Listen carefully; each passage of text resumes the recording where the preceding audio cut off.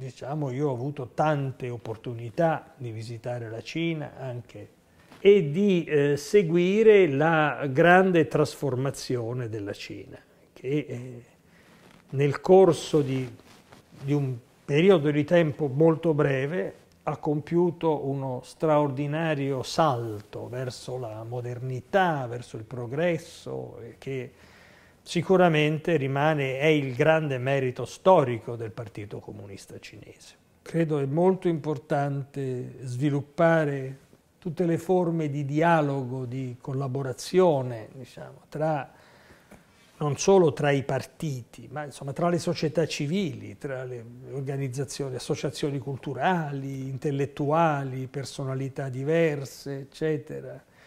Sarebbe molto negativo se si tornasse ad una chiusura reciproca, diciamo.